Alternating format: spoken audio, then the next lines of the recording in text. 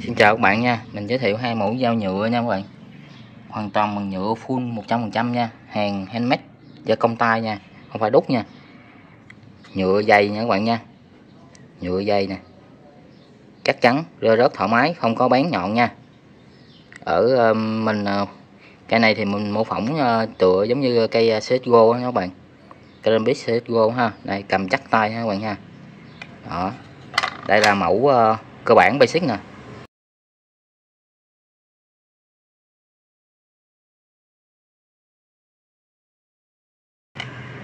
Còn đây là bản nâng cao nha các bạn. Bản này dùng để ờ, chúng ta có thể ờ, chụp hình nè đóng phim nè.